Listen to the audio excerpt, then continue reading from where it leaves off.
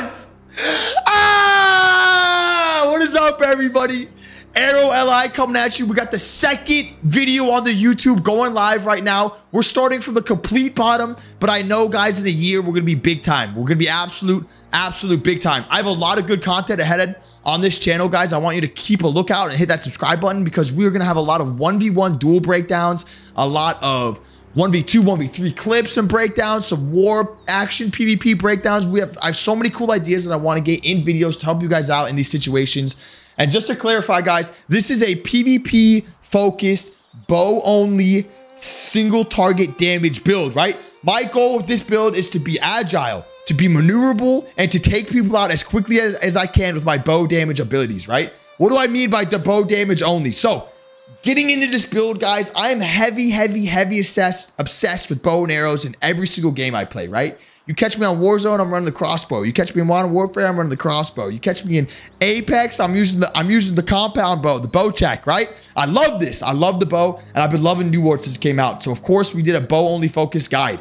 What I mean by this is we are doing all of our damage with the bow. As you can see, these are my three abilities I like to use for the bow. We're using the rapier purely for the additional movement. We're not using it for damage. If melee get in close to us, we have a beautiful counter ability for a stun.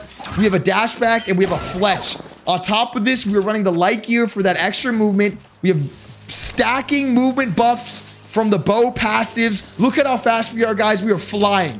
It is very hard for people to stay near us, whether they're melee or ranged. We are very, very, very evasive, as you can see. So let's get into our bow build. I don't want this video to take up too much of your guys' time. I see a lot of very, very lengthy bow PvP videos on YouTube. That's not going to be us. You guys can all read. I'm not going to run through each and every ability. I'm going to hit a couple of key points that I noticed and that I found out working with a friend of mine, Raw Life, who's also a very good bow PvP player on my server. We kind of theory craft a lot a lot of testing. We figured out a lot of cool things. So this is what I'm running. Copy and paste this. I promise you. Single target, 1v1s, 1v2s, 1v3s. This is a cookie cutter build for every single situation. I'm not a guy who likes to respec before every duel. I think that's silly. You want something that works in every situation. This is it. Hands down, guys, I'm telling you, I have so many hours in PvP on this game. So many, so many, so many nonstop duels, outpost rush, wars, world PvP, 1v2s, 1v3s. We have so many clips and content on our Instagram and on our TikTok and on our Twitch. I'll link it all in the description below. If you guys aren't following, please go ahead and hit that with a follow. Look through the clips and highlights so you guys can see what I'm talking about. We have a lot more videos planned for this YouTube, guys. I want to do some 1v1 breakdowns, some stuff like that. But I wanted to first go over our actual build before we get into those videos. So that way people can see what we're running if they want to run it. So like I said, some really good things of this build. Deal 20% more damage after dodging. Incredible. Nothing to be said on that. After you dodge, gain 10% more haste. Thanks to the dodge roll and your weapon swapping mechanics, you can basically keep a 10% haste up in every single fight. You're cooking. My guy is fast, yo. He is Speedy Gonzalez out here. Speed, speed, speed. That's what this build is all about, right? Putting distance, dodging, dodging those ranged attackers' abilities, or dodging, or, or putting distance on melee and clapping them down with the bow abilities, because the bow hits so hard, guys, if you hit your shots. It is an incredible weapon in this game. I love it. Uh, we're running Poison Shot, obviously, with the 1.0.5 patch update. Poison Shot got kind of buffed. They reduced the cooldown 26 second cooldown with the perks I'm running, and it also does, it's also based off weapon damage now, so it's hitting a little bit harder. On top of that, you get the 10% more damage to foes suffering from a debuff, clean, nothing to say there, right? You just, you start a fight with poison shot and you're doing 10% more damage the whole fight. Incredible. Until poison shot runs out, obviously.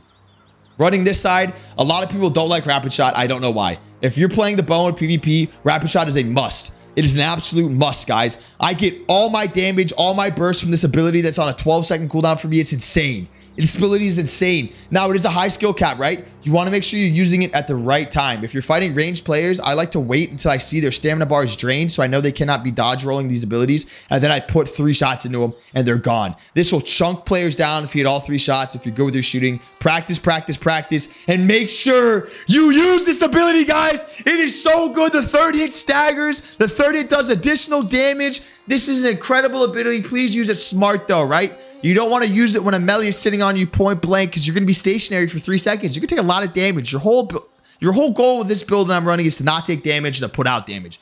Rapid fire is a must. You have so without this ability, I feel like I don't do enough burst damage to take someone out quickly. I'm just auto shotting and penetrating shotting.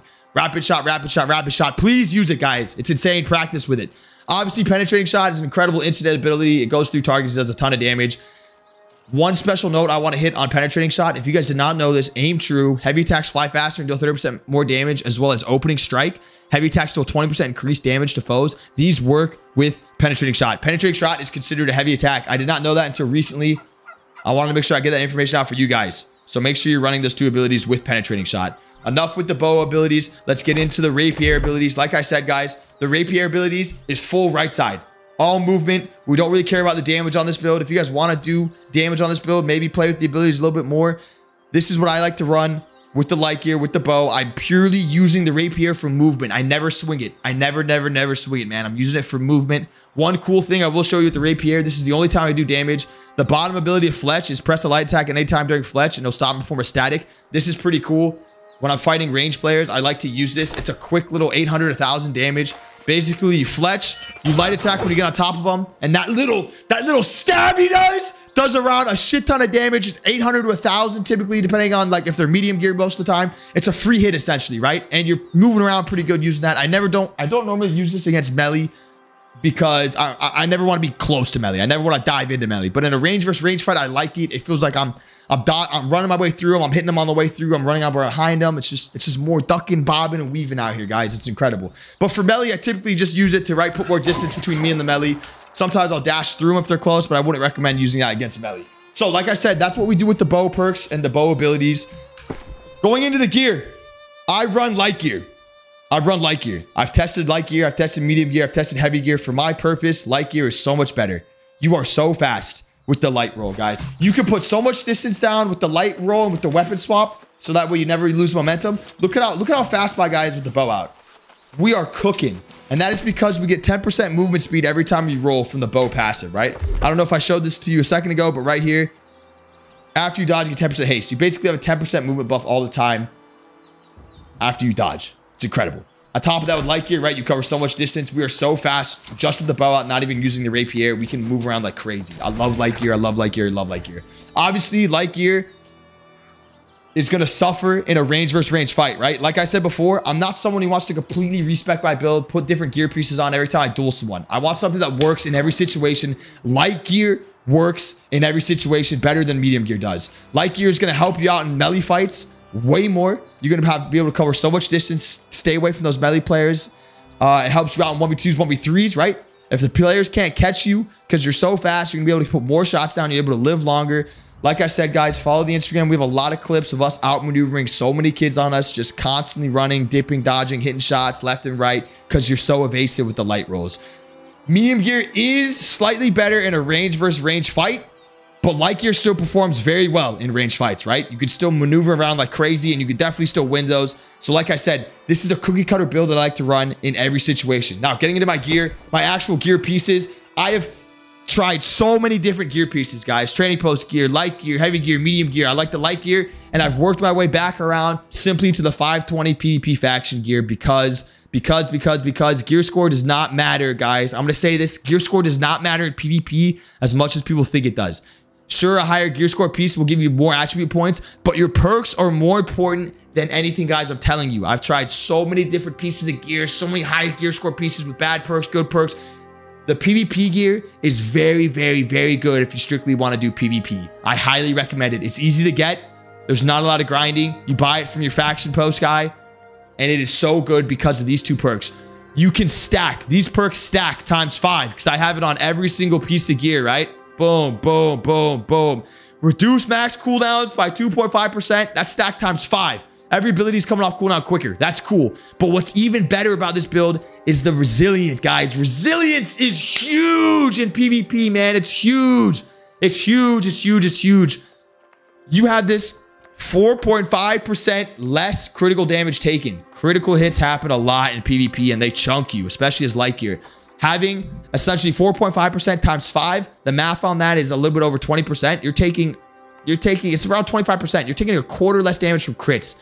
If you're getting hit 5,000 without PvP gear for critical hits, you're now going to get hit for only 3,100 from critical hits from PvP. That is drastic. That's almost, that is an insane amount of less damage you're taking in range fights and melee fights. Obviously versus melee, this doesn't matter much because we can kite melee pretty well. We can keep our distance. But in those rangers range fights, when you're getting hit in the head, you're getting crit, by other bow players, by musket players, by mages.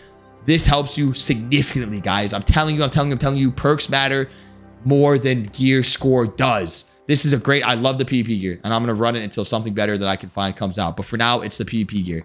I like the Onyx gems. Like I said, guys, the Onyx gems, if you think about New World, right? A lot of the player base is physical damage. Only the mages are doing elemental damage, right? And some of the life staff. Life staff doesn't hit hard anyways. This just makes sense to run 2% physical damage absorption because it's more damage absorption versus more of the players you'll be fighting, right? You're going to take less damage from other bow players, other musket players, sword shield players, right? Anything physical. You are going to get hit pretty hard from the mages, but that's fine. I feel like you get hit pretty hard from the mages no matter what. You could beat mages in duels. Just make sure you're hitting your shots because you do a lot of damage to mages the same way they do a lot of damage to you. Obviously, you want the tier 5 arrows if you can afford them. If you can't, the tier 4 arrows are almost just as good. They're really cheap in the trading post if you want to buy them or if you want to craft them. Obviously, you want the tier 5 ones just do more damage. It's simple, guys. It's simple. Rolling into the uh, amulet. The best perk on the amulet for PvP is you have percent more maximum health. The health perk. Insane. You want more health, right? I am running 100 con only, and I am 9,200 health. Thanks to that amulet. That's insane. Uh, the ring jewelry. You have two options here. Right now, I currently have you deal more percent thrust damage.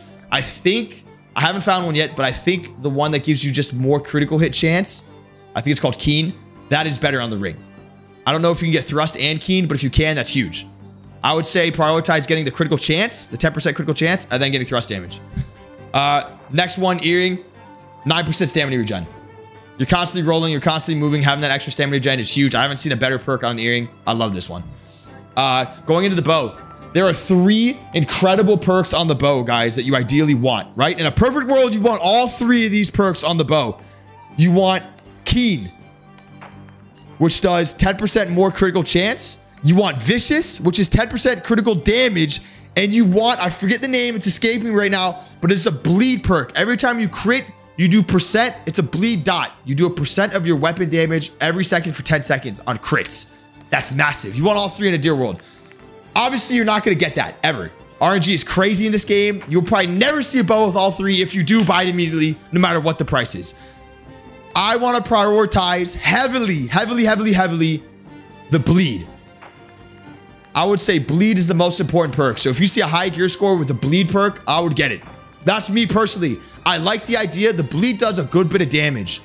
It does a good bit of damage over 10 seconds, and you can stack that bleed with your poison shots. So now they're ticking twice as hard to two different debuffs. Absolutely insane, guys, and you're critting a lot with the bow thanks to, again, your 300 dex attribute. You get a guaranteed critical hit after a dodge. Make sure you're keeping track of this, guys. You can crit a lot of times with the bow. That is absolutely insane. Uh, the gem right now I'm running is the Onyx gem. This is not the best gem to run for the bow. I think it's fun, though, for Outpost Rush to hit kids harder who are full health. The best gem for the bow is going to be the Opal gem, O-P-A-L.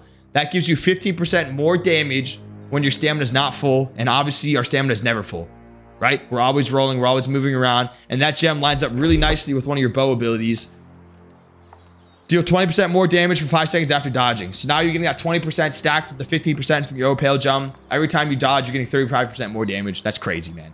definitely want that Opal gem. I'll swap this out in a little bit, but I'm just having fun in Outpost Rush right now. Uh, the Rapier. We don't swing the Rapier. We want a high gear score Rapier with a lot of dex just for more attribute points. And then also the best perk, I don't have it. The best perk that you want on the Rapier for this build is Sundering Riposte. Sundering Riposte is huge.